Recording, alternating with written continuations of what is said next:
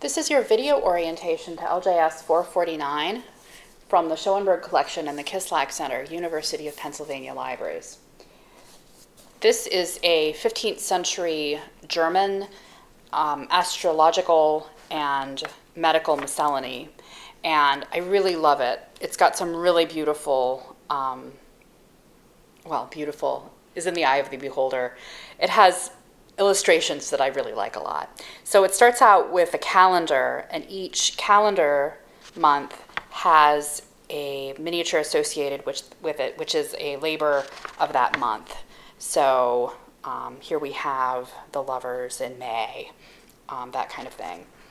And then we get past the calendar and we get this section of astrological illustrations, which are really striking. Um, here and then the page following. Let's see if we can get that there. So these are really nice. And then we enter this section, which the text is in German, and it's about how you determine um, good days and bad days for trying to do things.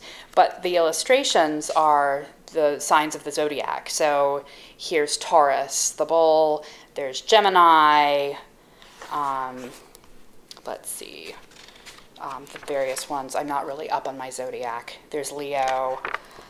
And so we get through that section, and then we get to a medical part of the manuscript, and we've got these great, here, here we are, illustrations of the parts of the body. And this is a little bit fun because you can see originally these um, were naked and someone has come through later and sort of blacked out the interesting bits, uh, which is which is interesting. Um, so LJS 449, it's just a really neat um, example of this kind of manuscript. If you'd like to find out more about it, you can visit Penn in Hand. There are high-resolution digital images of every page, along with a complete description of the manuscript. And this has been your video orientation to LJS 449.